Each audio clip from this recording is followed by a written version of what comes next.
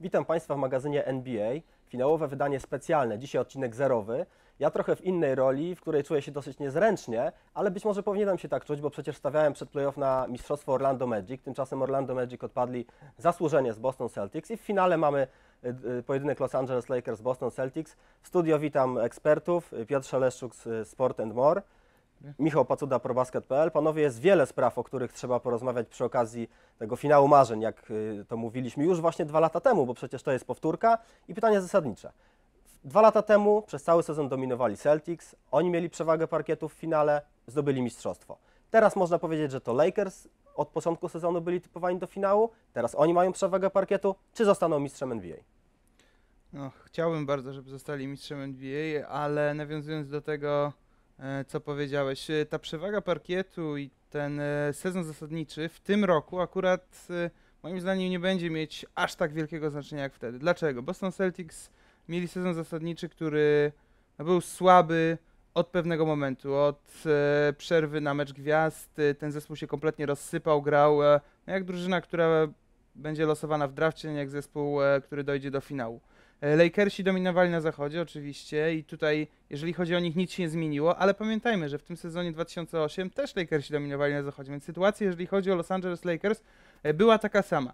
Dzięki słabości e, Bostonu w sezonie zasadniczym, Lakersi mają teraz przewagę własnego parkietu w tej rywalizacji, ale czy to jest aż tak ważna przewaga?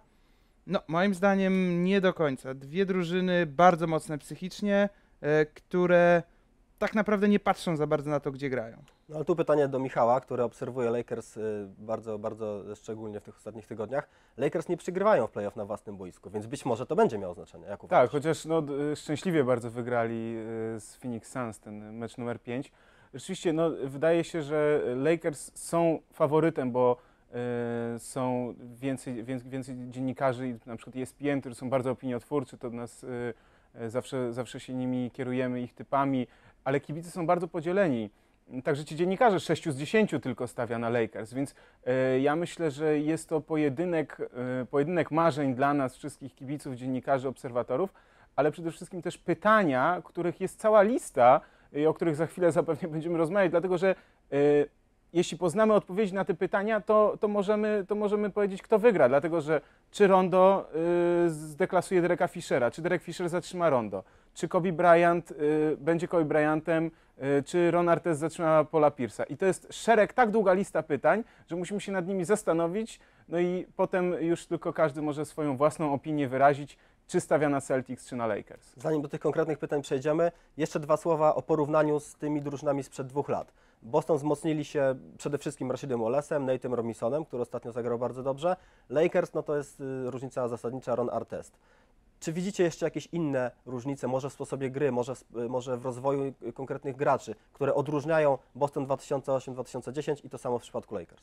Znaczy, ja chciał zwrócić na jedną rzecz uwagę, o której bardzo mało się mówi. E, mówi powiedziałeś Nate Robinson, Rashid Wallace. E, To są zawodnicy, którzy przyszli do Celtics z pewną marką. Oni zrobili to w pewnych momentach, co się od nich e, oczekiwało. Natomiast jest jedna sprawa, która zdecydowanie różni Lakers od, przepraszam, Celtics 2008 od tych Celtics 2010. Tony Allen. Tony Allen w 2008 roku był tym starym Tonym Allenem, który był zawodnikiem powiedzmy sobie koszykarsko głupim. On zawsze świetnie skakał, miał e, niesamowicie biegał do kontrataków, ale grał no jak taki zawodnik bez głowy trochę. Tony Allen 2010, pamiętamy go z serii z Cleveland, pamiętamy go z serii z Miami. To jest świetny zawodnik rezerwowy, który zna swoją rolę, e, potrafi doskonale współpracować z Rondo, to jest ważne. E, to jest świetna cecha, umiejętność czytania tego, co Rondo potrafi. Pierce, Allen, Garnett to umieli od początku, ale ci rezerwowi nie zawsze rozumieli swojego rozgrywającego. E, Tony Allen rozumie to. E, On miał, e, skręcił kostkę w, w rywalizacji z Magic i w związku z tym z Magic grał trochę słabiej, ale ta jego kostka leczy się, codziennie jest podobno coraz lepiej. To może być ta różnica, bo w finałach 2008 Tony Allen był e, zawodnikiem, który nie wnosił zbyt wiele do gry. Pamiętamy wtedy świetny mecz z ławki zalecił Leon Paul. Natomiast tutaj Tony Allen, zwłaszcza, że to jest pozycja Kobiego, przepraszam, Kobiego Bryanta, może być kluczowym zawodnikiem z ławki rezerwowych, jeżeli chodzi o Celtics.